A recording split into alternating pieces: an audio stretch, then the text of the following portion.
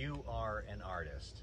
I want to encourage you today that if you put your hand and your mind to something to create, that you are an artist. Own it, stand up under it, be confident in it. We are all created in the image of God, and like Him, we get to create. So go out there and make some art. Be confident in your skills and enjoy being a creator.